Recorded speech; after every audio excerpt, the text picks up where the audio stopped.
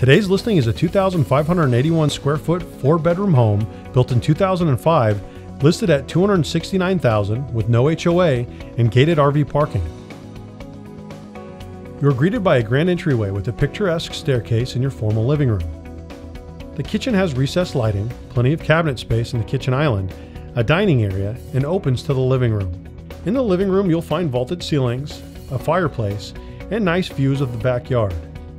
The home also has a downstairs bonus room, which is currently being used as a bedroom, and just next door is a downstairs full bath, which is great for older relatives and guests.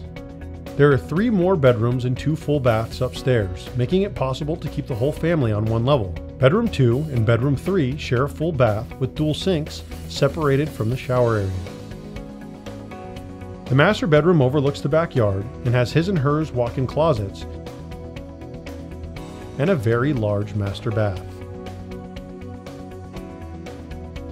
Out back, you will find your setup to entertain with a nice hardscape area with a covered patio for the adults and a nice play area for the kids.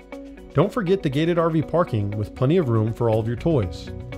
And despite not having an HOA, the home is walking distance to the park, the dog park, and less than a mile to the elementary, middle, and high school. Hello everybody, David Serpa here. Thank you so much for watching my virtual tour. If you'd like a private tour of this house, if you'd like to see another house, or if you're interested in potentially selling your home, please feel free to contact me at 951-691-7798. Email me, davidserpahomes at gmail.com, or check out my website, davidserpahomes.com. Thank you so much for watching. Please feel free to check out the website for open house times. And as always, I look forward to talking to you.